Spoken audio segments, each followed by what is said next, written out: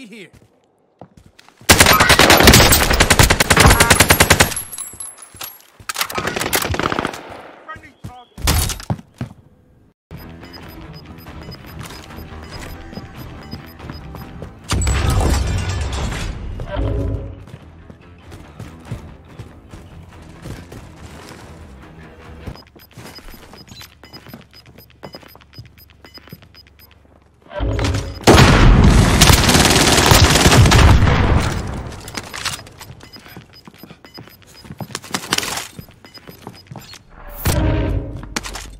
gotta get to the safe zone.